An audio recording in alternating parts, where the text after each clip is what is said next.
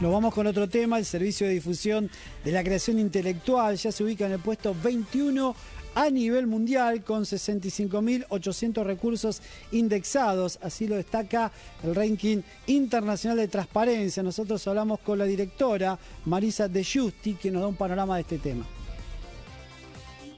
Eh, un repositorio es una, una, vamos a decirlo así, es, hay muchas definiciones de repositorios digitales, institucionales de acceso, abierto, pero básicamente es una eh, estructura web que por lo tanto la puedes acceder, cualquier persona la puede acceder por internet, que cuenta con, eh, entre otras muchas cosas, una base de datos donde está guardado toda una producción institucional cuyo alcance, cuya extensión depende de la política de la institución, de lo que la institución determine que va a tener.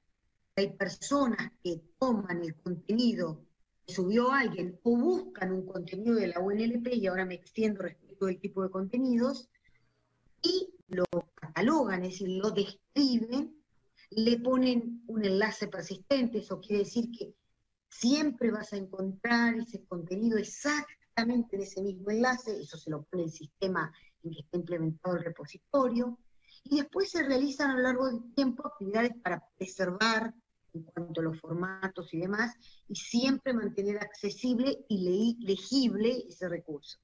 Hay de todo, hay, hay, hay muchísimas cosas. Lo más interesante es invitar a la gente que, que vaya y lo vea en www.cedici.unlp.edu.ar y lo recorra y vea qué le interesa. Hay música, hay, este, no sé, suponete producciones de la radio universidad en, la cual, en las cuales un poeta está leyendo un poema. Claro. una poeta está leyendo un poema. ¿Y, qué significa para vos este trabajo?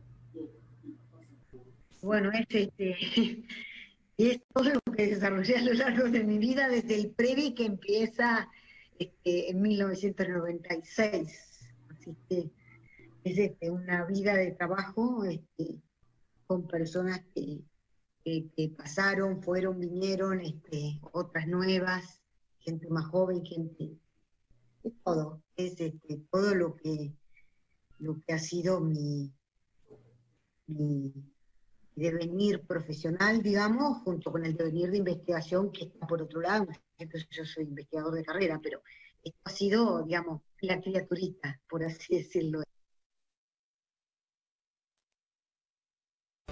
Bueno, Gaby, si te parece momento este de hacer una pausa. Exactamente, la última pausa de esta edición informativa y ya regresamos.